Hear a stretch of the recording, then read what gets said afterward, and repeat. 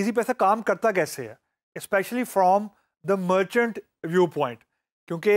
एक तरफ़ हमारे पास मर्चेंट्स हैं, हमने अभी शॉप हाइव पे जाके देखा कि मर्चेंट की वेबसाइट के ऊपर इजी पैसा ने जाके इंटीग्रेट होना है तो तभी जो कस्टमर है, यानी मैं और आप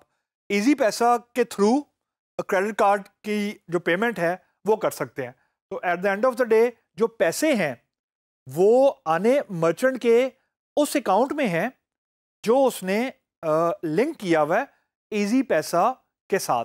आसान लफ्ज़ों में, अगर मैं आपको ये बताऊँ तो मतलब ये हुआ इजी पैसा जो है, वो एज अ पेमेंट प्रोसेसर ही काम कर रहा है, यानी बिहाइंड द सीन्स एक बैंक अकाउंट लिंक हुआ हुआ है, इस केस में माइक माइक्रो फाइनेंस बैंक और और भी जो सॉल्यूशंस हैं तो at the end of the day merchant के अकाउंट में पैसों ने आना है एंड यूज़र ने पैसे पे करने हैं। तो जो अभी हम लोग डिस्कस कर रहे हैं वो online payment via debit card या वीज़ा कार्ड है। तो इट ऑल स्टार्ट विथ कि जो मर्चेंट है, वो बेसिकली जाके रजिस्टर करता है इजी पैसा की वेबसाइट पे तो उसको इन रिटर्न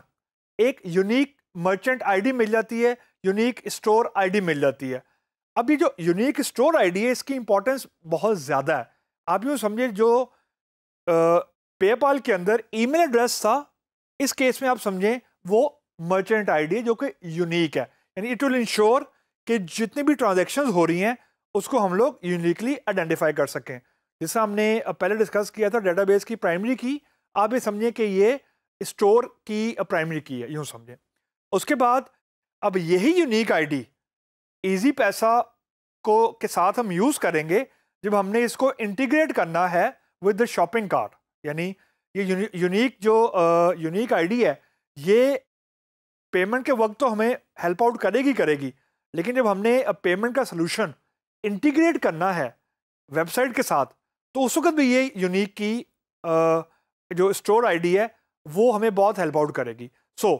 जो कस्टमर होगा जैसे हमने अभी देखा वो बिल्कुल नॉर्मल तरीके से वेबसाइट पे आएगा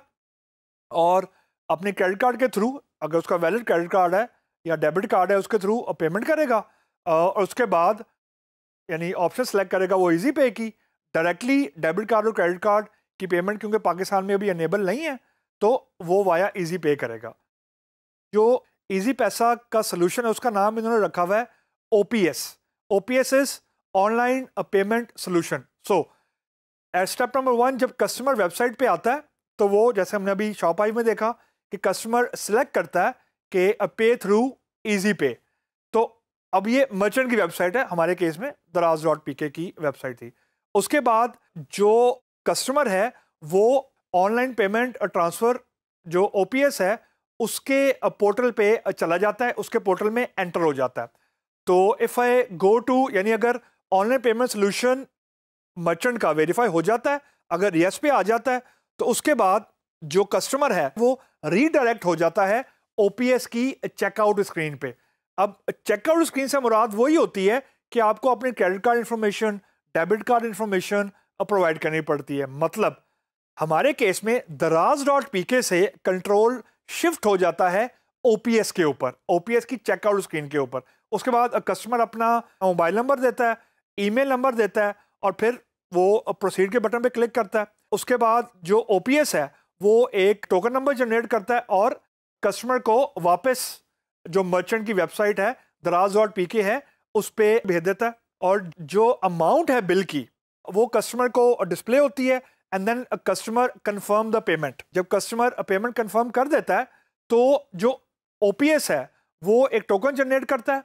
और वो जो टोकन है, वो कस्टमर को डिस्प्ले हो जाता है एंड देन उसके बाद पेमेंट हो जाती है। सारा फ्लो बताने का आपको मकसद ये था कि जो पेमेंट की वेरिफिकेशन है या जो पेमेंट से रिलेटेड स्टेप्स हो रहे हैं, वो दराज डॉट पी की वेबसाइट पे नहीं हो रहे। वो सारे के सारे स्टेप्स हो रहे हैं एक ओपीएस के सिस्टम के ऊपर, यानी टेलीलॉर के सिस्टम के ऊपर। तो जब हम लोग पेमेंट वाया इजी पैसा पे क्लिक करते हैं, स्पेशली वाया डेबिट कार्ड और क्रेडिट कार्ड तो हमारा कंट्रोल शिफ्ट हो जाता है to an independent system,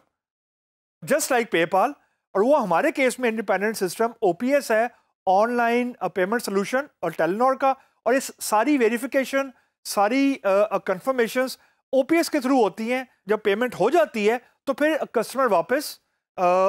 merchant website पे हमारे केस में दराज डॉट पी की वेबसाइट पे रीडायरेक्ट हो जाता है अगर पेमेंट सक्सेसफुल हो जाती है।